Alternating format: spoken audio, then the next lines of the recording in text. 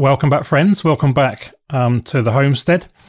In the first video of this series, we discussed the potential issues with traditional greenhouses and the benefits of using a passive solar model. However, during my research on passive solar greenhouses, I noticed that many options seem to be either excessively expensive or poorly constructed.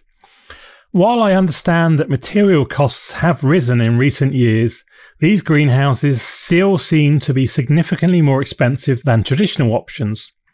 Additionally, it seems that many designs prioritize aesthetics over functionality, which can lead to inefficient use of space. A greenhouse is primarily for growing food, and it should not be treated as a vanity project. However, I also noticed some DIY designs that may not be able to withstand the elements for more than a year. What is needed is a balance between functionality, quality, and a neat appearance. With that in mind, I am considering the core goals and rules of our passive solar greenhouse project. So, in short, it should be 1. Affordable, 2.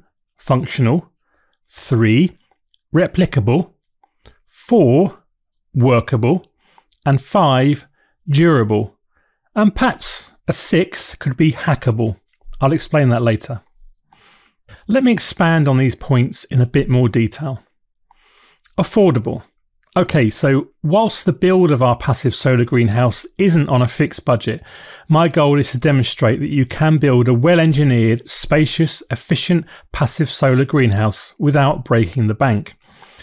If we look at a replacement polycarbonate greenhouse, similar to the one that we've already got, which is 4mm polycarbonate, then the current cost of an 8 meter by 3 meter is about 600 euros. And if you want 6mm polycarbonate, then you're looking more towards 1000 euros. To keep costs down, then it makes sense to use as much of our own timber as possible, but that's mostly just the upright posts which we'll make from tree trunks we already have. Rule number two functional. The greenhouse is for growing food, and so we want to maximize the floor space for doing just that. Some of the floor will be used to host the mass that will retain the heat that's generated during the day, and some of the floor will be used for one long walkway. But in total, we should have about 60% floor space dedicated to beds.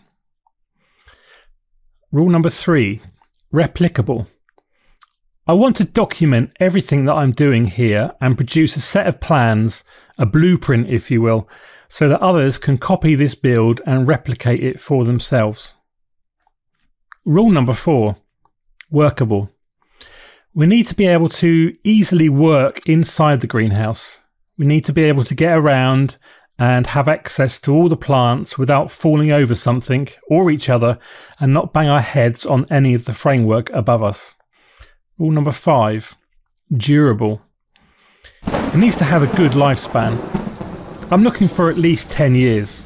That would be the same as the warranty on the polycarbonate, so it's reasonable to expect a minimum of 10 years, but hopefully much longer. Hackable.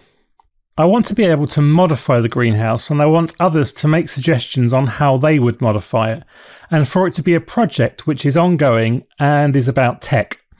Tech to control ventilation or other elements, and to collect data that in time I plan to share that data with people who would be interested in joining in a kind of open source project, and maybe even build a community of European passive solar greenhouse owners.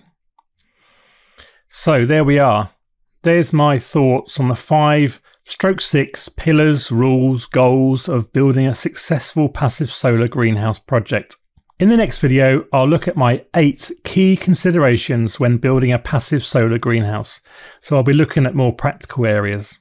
So, what are your thoughts on this video? Maybe you've got some experiences in this area. My first video drew a lot of comments, and I'll be happy to take more comments down in the comments section below. Let me know what you think. Let me know where you think I might be wrong or maybe even right.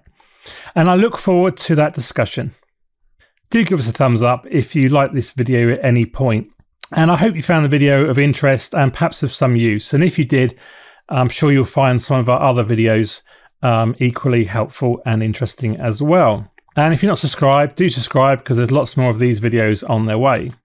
So thanks for watching and I look forward to seeing you in another video soon. Bye for now.